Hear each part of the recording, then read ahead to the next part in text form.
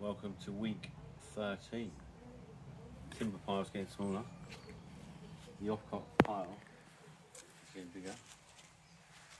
Today I went through a lot of this 4x2 to make and cut all the parts for the two rake walls. So this is what we made today.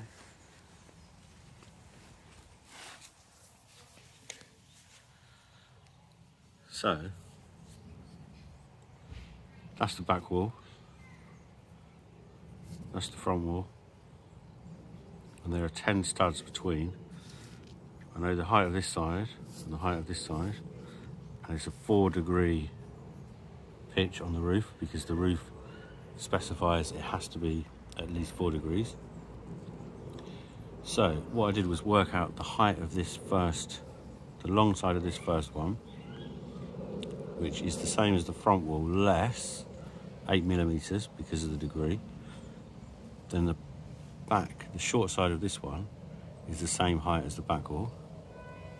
So then what I did was cut the first one and the last one.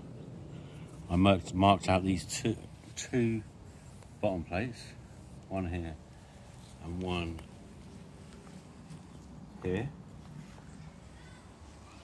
Then what I did was lay out my first and my last one. Laid out all the studs. Lined it up with this one. So that I know they're in line and they're parallel. I used the OSB screwed to the floor to be square to the front. I clamped this one down here, clamped this down, and then had this run strip square on the OSB, piece of OSB.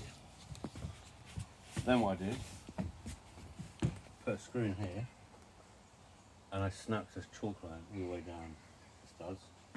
So you can see the chalk line just there, just there. So that enabled me to cut every stud at the right length.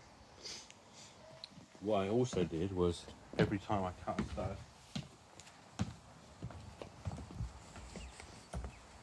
cut a second stud for the other wall. So I've got 10 studs here for this wall.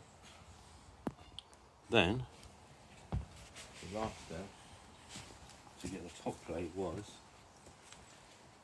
I know that my bottom wall, bottom base plate here was 3385. 3385.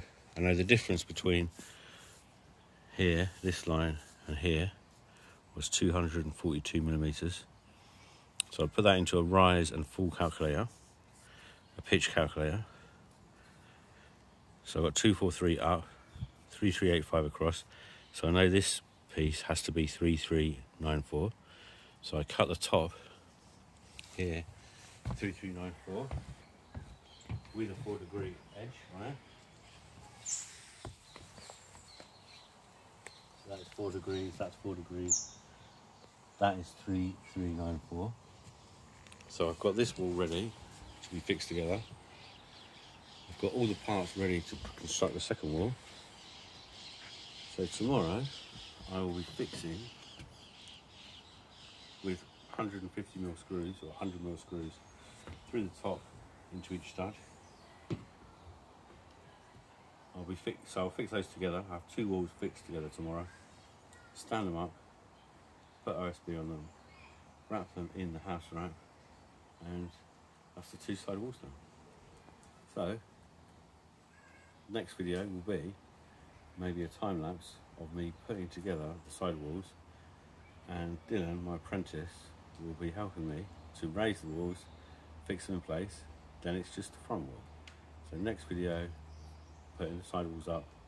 Video after that will be the front wall with quite a nice glulam beams I've ordered, which are quite chunky beams, so that will be a good video, putting those together. See you on the next one.